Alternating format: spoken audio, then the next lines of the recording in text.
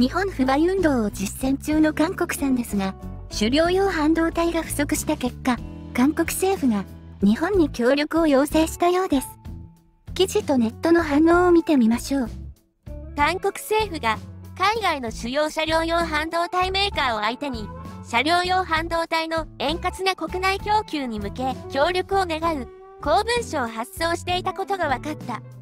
関係部署は25日産業通商資源部経済産業省に相当は最近このような内容の公文書を各国の外交交換を通じて主要車両用半導体メーカーに送ったと明らかにした。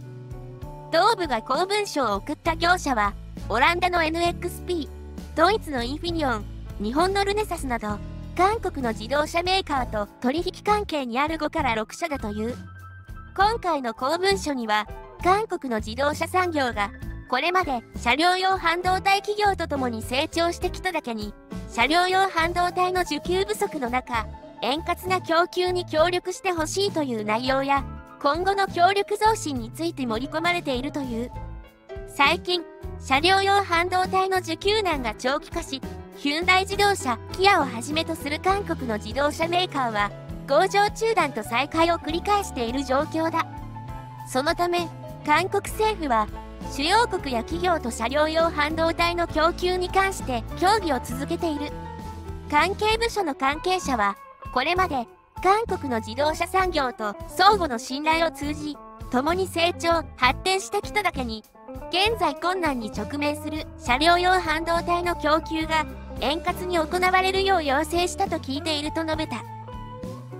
それでは日本の反応です。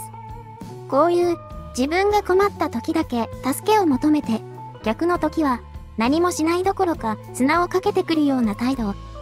人付き合いだったらどういう立ち位置に置かれるかよく考えてみましょう。韓国は車載半導体の98%を輸入に頼っているからきついに決まっている。車載半導体大手3社でルネサスはトヨタ筆頭の日本企業特インフィニオンはドイツの自動車メーカーラン NXP は米自動車メーカー合併したフリースケール旧モトローラがあるを優先するのは当然だろう。韓国の自動車メーカーは周回遅れで待つしかないと思う。ビジネスは信頼関係から成り立っているのを韓国政府は分かっているんでしょうかね。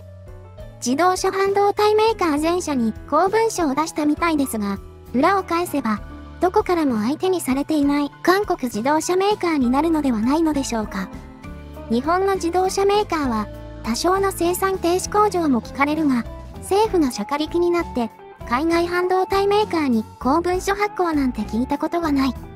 韓国の自動車産業は、日本の自動車メーカーが育てた産業であり、多少大きくなったからと、半日で日本の自動車を叩きまくるのに自分が苦しくなると、助けてくれはないでしょう。自国のメーカーが苦しんでいるとき、それ以上に他国を優先するはずはない。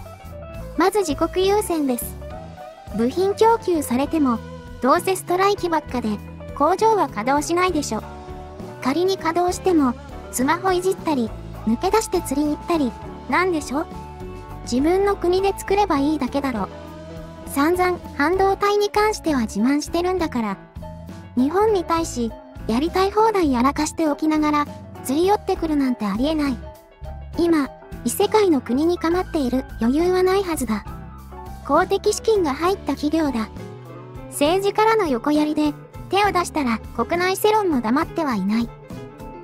ということで、韓国さんの反応はいつものように、ムンさんの文句を言ったりって感じで相変わらずのようです。それにしても、今回の件も、実に韓国さんらしいって感じで、期待を裏切らない韓国さんには本当に脱帽ですね。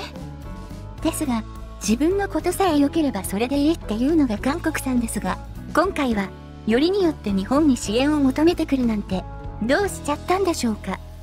当然断られるのは目に見えてると思うんですが、少しでもプライドがあれば、日本にそんなことは言えないと思うんですが、恥ずかしくないんでしょうかね。結局、ワクチンも、米国からの支援をほぼ断られた韓国さんですが、半導体を支援してくれる企業が現れるか、ちょっと楽しみですね。韓国さん、自称でも先進国を名乗るのであれば、一回くらい自力で危機を乗り越えてみてはどうですか？ということで、ご視聴ありがとうございました。それではまた次回の動画でお会いしましょう。